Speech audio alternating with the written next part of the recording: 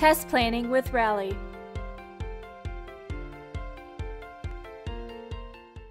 Quality assurance specialists can achieve significant efficiencies by thinking through and creating test plans before they begin any of their testing efforts.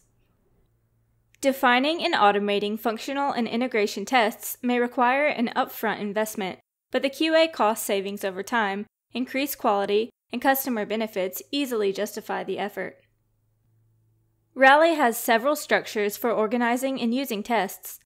Let's start with the test case itself, which defines how the system should perform according to the requirements. You define a test case using a description, objective, preconditions, validation input, expected result, and post conditions. There are also other attributes and associations that you can learn about in the Use Rally test cases for acceptance testing training. Drilling into the test case, you can define the steps needed to run the test case, run the steps for that test case, and record the results each time. You can run the test case by itself or as part of a collection that includes other test cases. When you organize test cases for use in various situations, Rally provides the means to dig into the results from the context in which the test case was run. For instance, when accepting a story or when running a set of regression tests in an iteration. Let's take a look at the different ways to organize test cases in Rally. Although test cases are created on an ongoing basis, once there's a group of test cases that you'd like to reuse, you can organize them into a test plan, also called a test folder, according to their function. This is done from the test plan page in Rally, which is located under the quality menu. For example, you can organize the checkout tests into a test folder containing all the test cases needed to test the checkout function of our shopping cart.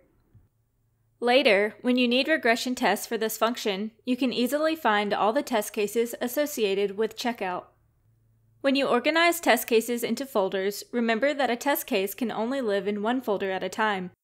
Be sure to name your folders so that it's easy for you to tell what test cases reside there. This will help you find them more easily when you reuse them in test sets, as we demonstrate in the Use Rally Test Cases and Test Sets for Regression Testing video. When you run integration or regression tests, you may want to include test cases from one or more test folders in your test plan. To schedule all these test cases together, you need to create a test set and assign it to the appropriate iteration.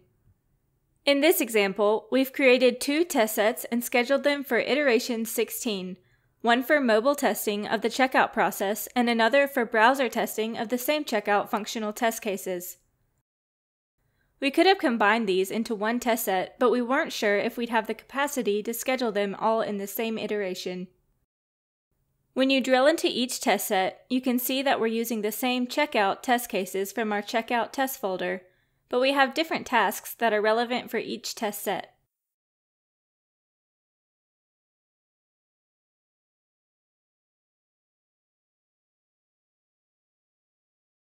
You organize test cases on the Quality Management page. This page allows you to create folders and subfolders to keep your test cases organized in a hierarchy that you define.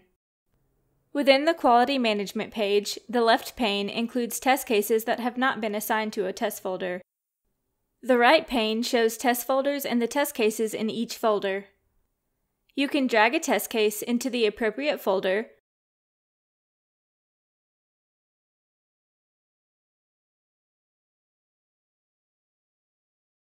Or you can select multiple test cases and place them in the appropriate folder using the bulk editor.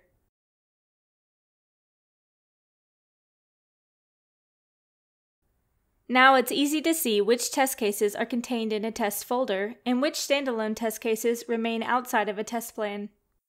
You may also drag and drop to reorganize test cases within the test folders pane.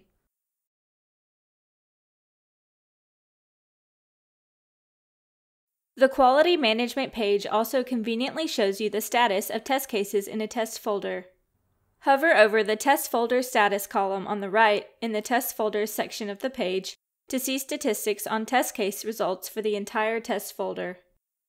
The latest status of a test case for a particular software build is what's relevant. Congratulations! Now you're ready to create test plans in Rally. To learn more about Rally and Agile practices, check out our blog and community. Like this video and subscribe to our channel so that you'll never miss new content as it's added.